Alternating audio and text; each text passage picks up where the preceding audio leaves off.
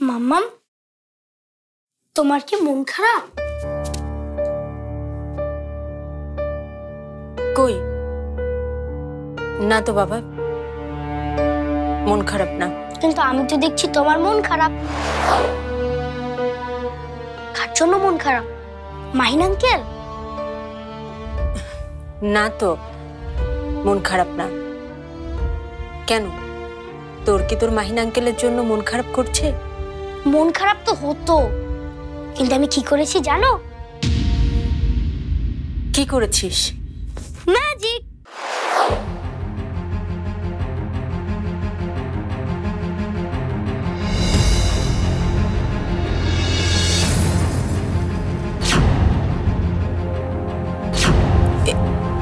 এই ছবি? এই ছবি তুই কোথায় পেলি? কেন মাহিন আঙ্কেল দিয়েছে?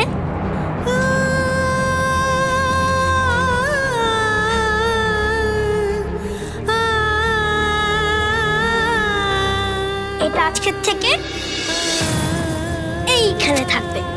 তাহলে মাহিন আঙ্কেলকে আর মিস করব না। জানো? মাহিন আঙ্কেল কেন আমাকে ছবিটা দিয়েছে? কেন দিয়েছে? কারণ আমি মাহিন আঙ্কেলকে বলেছি, বাবার মতো ম্যাজিক শেখাবো। যাই ওটাকে একটু ঠিক করে রেখে আসি। ইস, আর কটা দিন থাকতে পারলে কত যে ভালো হতো।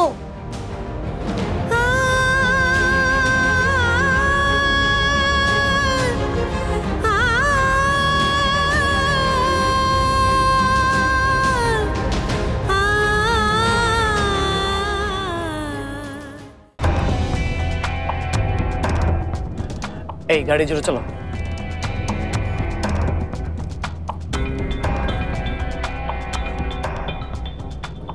কাজটা আপনি কীভাবে করলেন? এত বড় একটা ডিল করলেন আপনি কোনো ধরনের পেপারস চেক না করলেন না আপনি কাজটা একদম ঠিক করেননি। একদম ঠিক তো আরও অনেক কিছুই হয়নি। আমার কথা বাদ আপনার কথা বলুন। ওদের সাথে কি আপনার পুরনো কোনো শত্রুতা? শত্রুতাটা ওরাই শুরু করেছে। আমরা করিনি। ওই নন্দিনীকে কারা যেন গুলি করেছে? কি? কি বললে? নন্দিনী? জি ভাইয়া। আনি তাই তুমি আমাকে জানাওনি কেন? সবকিছু এত তাড়াতাড়ি ঘটেছে যে আসলে আমি আমি- আসছি। মনসুরকে আমার চাই চাই। ওকে ধরতে পারলেই ডিকে গ্রুপের সবকিছু আমি জানতে পারব। আর ও কার কাছ থেকে এত সাহস পেল সেটা আমার জানতে হবে।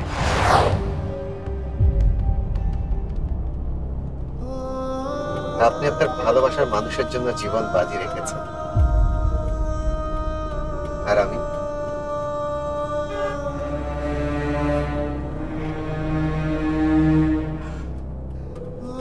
আমি আমার ভালোবাসার মানুষগুলোকে বিপদের মুখে ঠেলে দিয়েছি। মানুষ না আমি মানুষ না। Aunty excuse me hello aunty আলাইকুম অপূর্ব তুমি এখনই আমার এখানে চলে এসো। আন্টি কি হয়েছে বলেন তো? সামনাসামনি কথা হবে। তুমি চলে এসো ব্যাস। হ্যাঁ আসছি জি।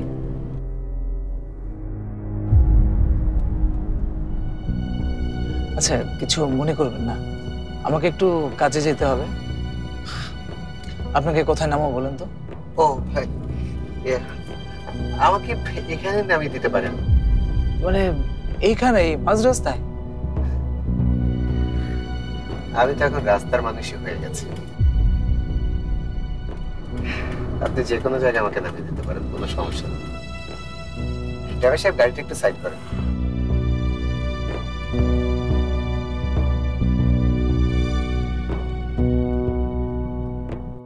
অনেক ধন্যবাদ। ওকে সাবধানে। টেক কেয়ার সেফ জার্নি সাবধানে যাবেন।